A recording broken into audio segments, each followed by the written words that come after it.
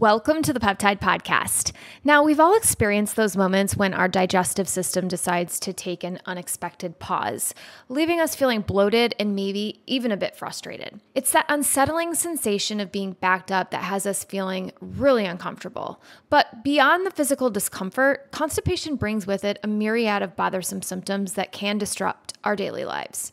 From the persistent abdominal pain to the bothersome feeling of fullness post bathroom visits, constipation is both universally relatable and uniquely personal. Today, I want to talk about Trulance, a peptide used in adults to treat chronic idiopathic constipation and irritable bowel syndrome with constipation. So, what is Trulance? Trulance is known by its generic name, plecanatide. And it's an important peptide for gut health. It's an FDA approved medication designed to help alleviate symptoms associated with chronic idiopathic constipation, or CIC, and irritable bowel syndrome with constipation, or IBS-C. Now, CIC is long term constipation with an unknown cause, and IBS-C is a condition that causes belly pain and constipation. So, how does Trulance work?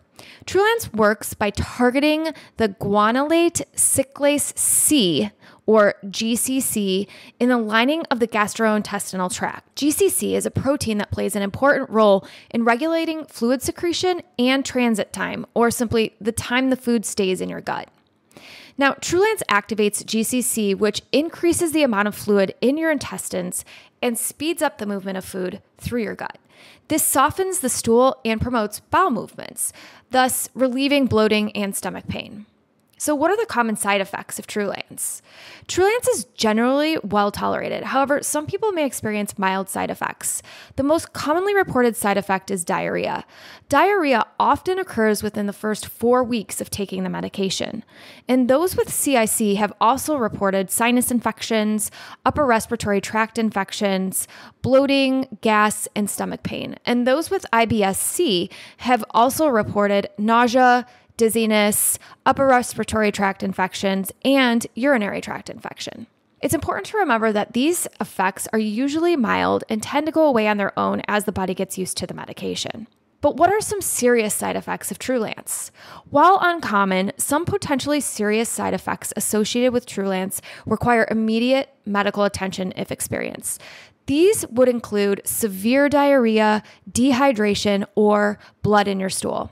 Now, prolonged and severe diarrhea may lead to dehydration, presenting as increased thirst, dry mouth, reduced urine output, dizziness, or even fainting. In clinical studies, this medication caused severe dehydration, leading to death in young animals. So, to be on the safe side, children and adolescents should not take Trulance. There have been rare instances of severe complications like bowel obstruction reported in patients with pre existing conditions, particularly those predisposed to GI obstructions. Now, if someone has a history of blockages or even a structural abnormality in the intestines, it's important to talk with a healthcare provider before starting Trulance.